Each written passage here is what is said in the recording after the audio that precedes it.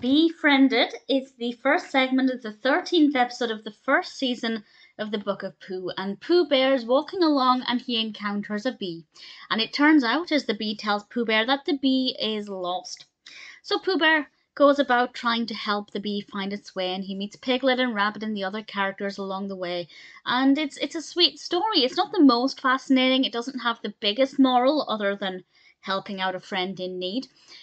But I think it can also help children to maybe be not as scared of bees. It probably wouldn't have worked with me because I really am terrified of bees.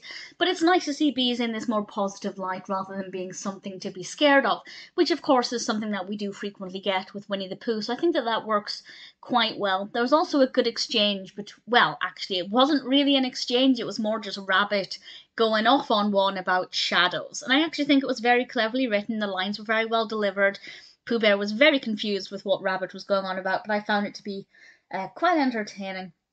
And I did, I, I thought this was very sweet. As I said, it's maybe not the most moral heavy or the most detailed narrative, but at the same time, I enjoyed it. It's good fun, it's sweet, it's innocent, it's harmless.